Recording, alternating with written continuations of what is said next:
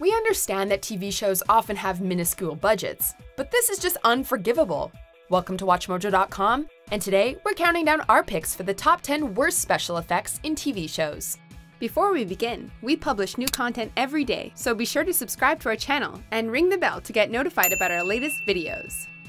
For this list, we're looking at instances of horrible special effects in various television series.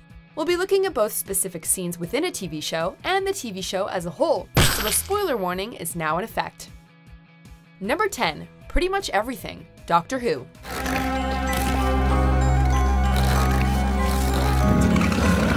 You know, for such a popular show that airs on a major network, it's mind-boggling how bad Doctor Who can look. While the stories are certainly imaginative, the visual effects often let them down.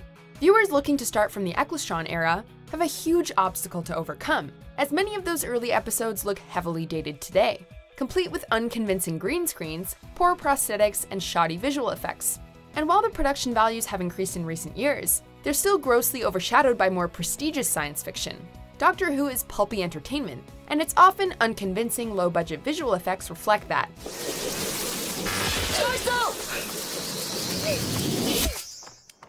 Number 9. The Transformations and Creatures, Teen Wolf.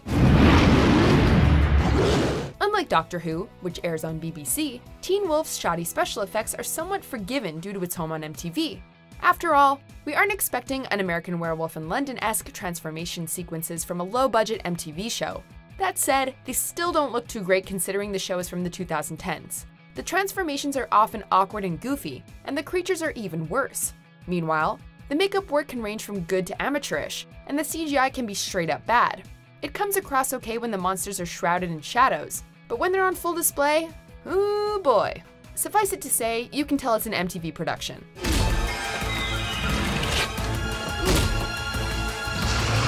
Number 8. The CGI and Magic, The Librarians. The key to any great fantasy series are its special effects. We need convincing visuals to transport us to these worlds and convince us of their inner workings. Unfortunately, the special effects on the librarians are often quite bad. The show itself is harmless fun, but it falls into ridiculous territory when the horrible CGI graces the screen. Its creatures could also use some work, as seen when the very, very unconvincing CGI wolf terrorized the town. To its credit, the series knows how low budget and cheesy it is, but that doesn't make its eyesore visuals any more appealing. That is a really big wolf. Number 7. The Chestburster. Star Trek The Next Generation. Panic. Here's a general rule all TV shows and movies should follow. Never do a chestburster scene. Viewers will always compare it to Alien, and it will always be inferior. We seek peaceful coexistence. The Next Generation tackled a horror plot in the first season episode Conspiracy. To mixed results. In the scene in question, Picard and Riker release a giant parasite from Remmick's stomach.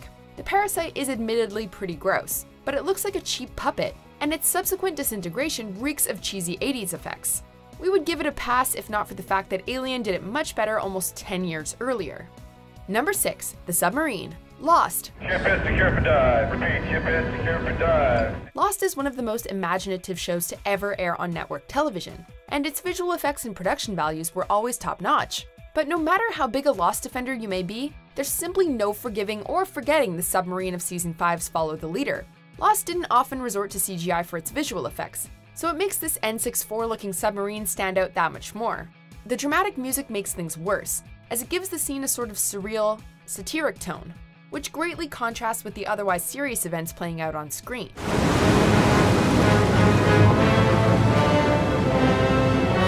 Number 5. The Dinosaurs, Terra Nova.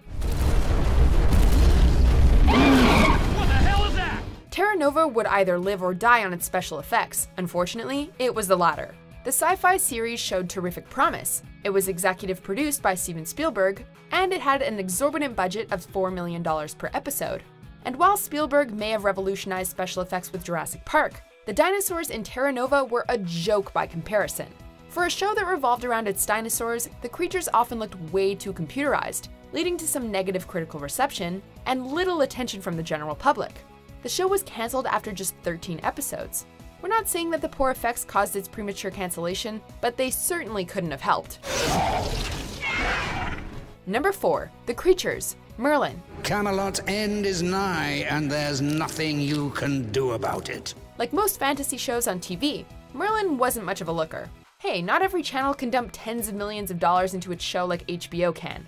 Merlin was a BBC One production that served as a reimagining of sorts of the classic Arthurian legends. Unfortunately, the special effects often proved to be a liability. Nearly every creature on the show was some sort of artificial CGI creation, with laughable green screen work, and the action that's often shot in a cramped, unclear manner to mask its very obvious low budget. Merlin may not have been such a bad show, but it certainly didn't get renewed to five seasons based on its special effects. What happened? Number 3. The Dragon, Once Upon a Time. Guess I should just cut to the chase. Once Upon a Time is a fun show, but its special effects are admittedly not always up to standard. But we can roll with that. It's part of its charm. However, there's simply no excusing the laughable scene in which Lily transforms into a dragon. It all starts with Lily's very generic yellow eyes, and it only goes downhill from there. We can't help but snicker when she's in full dragon form, as it looks more like something a 10 year old would put together on a laptop for a school project. It doesn't help that the scene contains epic music, like we're supposed to be in awe of this magnificent dragon, rather than laughing our heads off. Lily? Number 2. The boat scene. Ringer. This reminds me of Tahoe. It's scenes like this that make us question what goes on in the minds of producers and special effects artists. Surely, this was a significant matter of budget or time, because we have no idea how this would make it to the air otherwise. This scene from the CW crime thriller contains what is arguably one of the worst uses of green screen ever. The lighting doesn't match and the background is generic and cheap, both of which make the fake bouncing and wind all the more obvious. It looks like something you would find on cheap daytime TV commercials, not a show starring Sarah Michelle Gellar on a major network. And this was the pilot! Talk about a bad first impression. Before we unveil our top pick, here are a few dishonorable mentions. I wanted to know you were touching something I touched, that we were connected. Peter.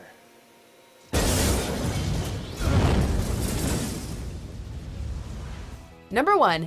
Everything. Hercules The Legendary Journeys. Cupid, can we at least talk about this? Hercules The Legendary Journeys is certainly legendary, alright. This show encapsulates everything that was both awful and glorious about cheap 90s TV, as its acting is very cheesy and its effects are considered some of the worst in television history.